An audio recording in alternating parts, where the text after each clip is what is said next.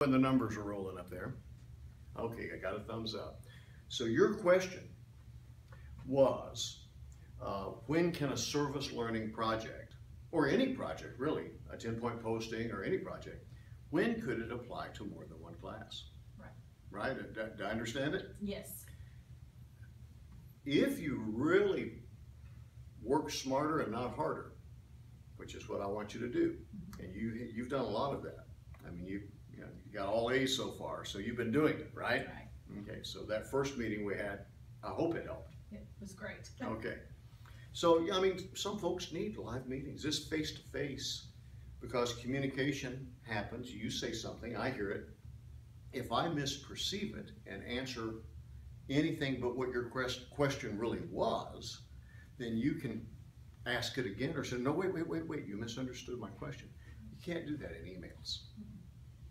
So this is a good way for us to do this. That's one of the limitations. You know, they call it synchronous versus asynchronous communication, right? When it's in time and when it's not at the same time.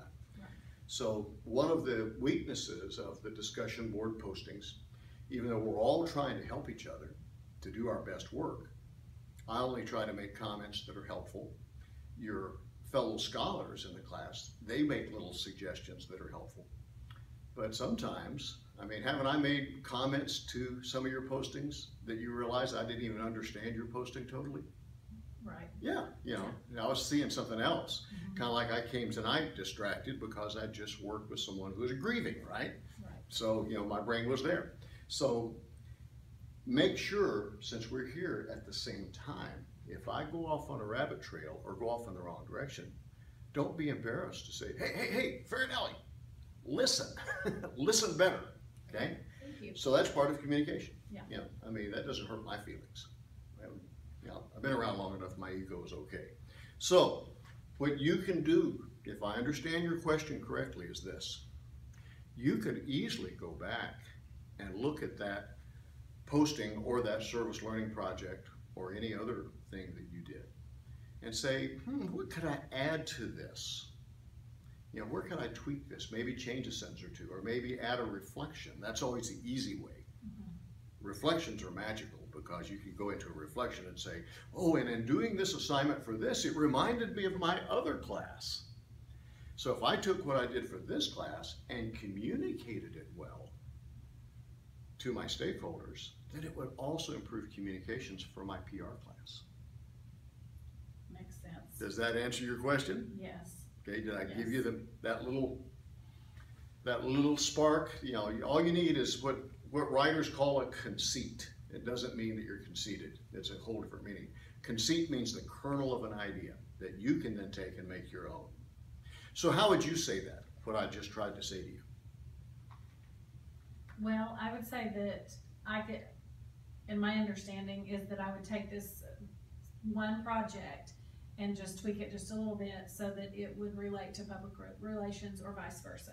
And remember, PR is all about communicating, both listening to and sharing good things or sharing critical things with all your stakeholders. Right. So if you come up with some ways to share, if that project that you did in the other class is something that you think needs to be shared with your fellow teachers, with students, with administrators, with parents, with community members who you want to support the school, Now, the, the project that I did was actually about a backpack program. Mhm. And, and implementing it, we did include, um, visiting with, with community members, um, religious leaders, Mhm. administrators. So could that already, It could, and you could even, maybe even do that even stronger. Okay. I, I remember your project very well. okay, okay, You might be able to do that even stronger. More strongly, I guess, if I'm trying to make a adjective add, how do we do that?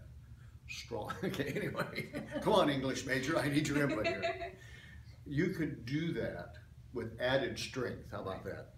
You could do that with added strength by perhaps just adding a reflection and saying, and now I could again communicate maybe a thank you letter Mhm. to all those who participated, or maybe uh, a little, do y'all have a, a school newspaper?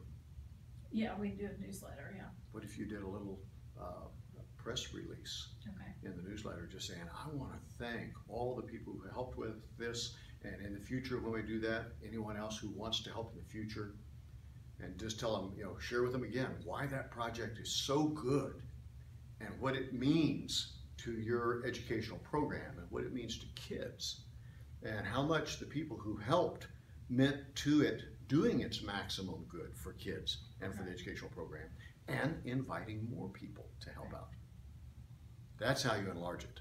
yes, You see what we're doing here? perfect. See, I'm taking your ideas, you're taking my ideas, and we're feeding off each other. That's called synergy, right?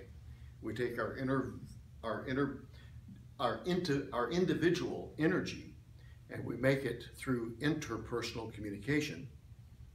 No, let me get the right word for Gardner's, Gardner's multiple intelligences from your undergraduate education.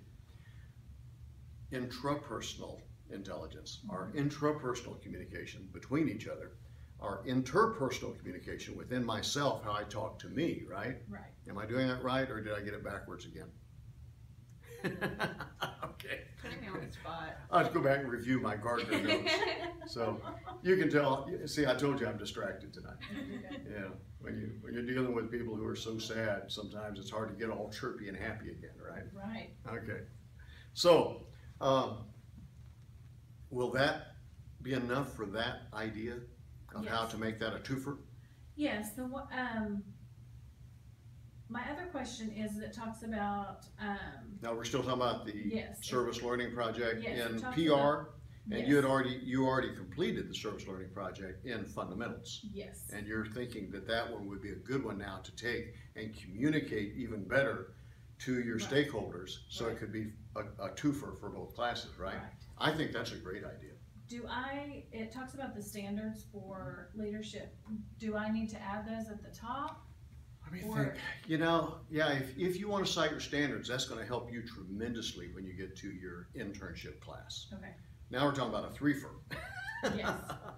And, you know, if you do, um, if you do a, a, a service learning project that relates to the curriculum, the whole curriculum program that you're gonna do, that you're gonna try to improve when you get to internship, Mhm. then you can make all these things work together. Okay. And we'll talk about that in another segment. Okay, So remind me, make a little note, we're gonna talk about what Dr. Ron Cambiano likes to call the big picture.